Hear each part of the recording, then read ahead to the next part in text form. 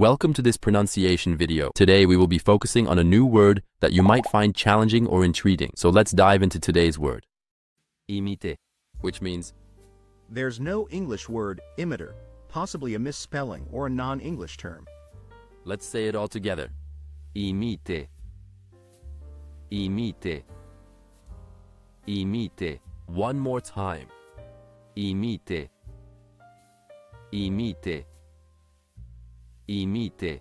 Thank you for joining us on this adventure in pronunciation. Remember, language is a journey, not a destination. Keep exploring, experimenting, and expanding your linguistic horizons. We'll see you next time.